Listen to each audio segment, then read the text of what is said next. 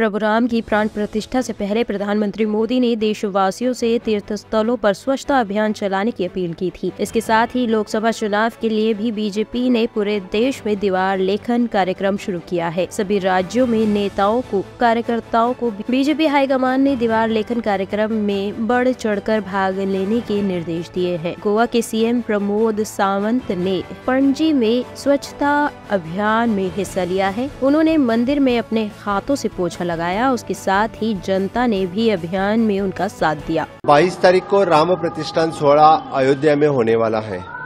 और इसी अवसर पर माननीय प्रधानमंत्री नरेंद्र मोदी जी ने देश में जितने धार्मिक स्थल हैं, जितने टेम्पल्स हैं, वहाँ पे क्लीननेस करने के लिए उन्होंने कहा है।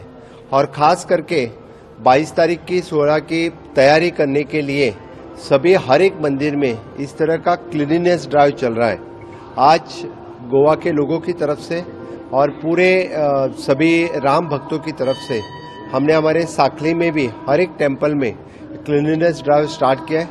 आज मैं अभी राधा कृष्ण टेंपल साखली में यहाँ पे हूँ। मेरे साथ में हमारे राधा कृष्ण टेंपल की समिति यहाँ पे है और बाकी पूरे राम भक्त और खास करके स्टूडेंट्स जो इस अभियान में जुड़े हैं। मैं इन सभी लोगों का बहुत बहुत अभिनंदन करता हूँ। सभी राम भक्तों का अभिनंदन करता हूँ। और गोवा गवर्नमेंट ने 22 तारीख के लिए पब्लिक हॉलिडे डिक्लेयर की है गवर्नमेंट के लिए। पब्लिक हॉलिडे इस, इसी कारण क्योंकि सभी स्टूडेंट्स सभी गवर्नमेंट सर्वेंट इस राम भक्त समारोह में जुड़े। ये राम भक्त सुहा बहुत बड़ा सोहला हो जाए। इसी कारण सभी 22 तारीख की छुट्टी के दिन हर एक मंदिर में बहुत बड़ा कार्यक्रम होने वाला है। निश्चित रूप से माननीय प्रधानमंत्री नरेंद्र मोदी जी ने जो कहा है कि दीपावली दीपावली की मनाई जाएगी। गोवा में, हर एक टेंपल में इसी तरह का बड़ा समारोह होगा। और फिर एक बार मैं सभी राम भक्तों का बहुत बहुत अभिनंदन करता हूँ।